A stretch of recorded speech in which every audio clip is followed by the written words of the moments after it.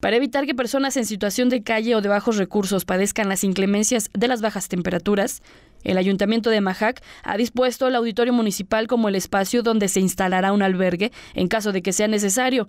Así lo confirmó el alcalde de este lugar, Faustino Karim Molina, quien precisó que se mantiene monitoreo constante en las comunidades de bajos recursos. Se está trabajando, se van a recaudar víveres y se va a sacar un comunicado a la ciudadanía para que también tengamos el apoyo de ellos, para que nos puedan apoyar con cobijas y muy independiente de lo que compre el ayuntamiento.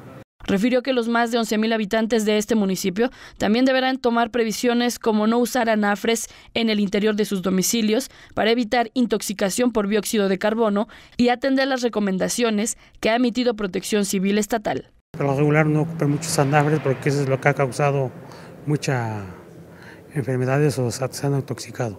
Se les está recomendando a ellos que no ocupen mucho de esos y estar dando rondines con protección civil y con seguridad pública, estar monitoreando los, las, las casas que sí lo requieran más. Ahora noticias, Belén Rodríguez.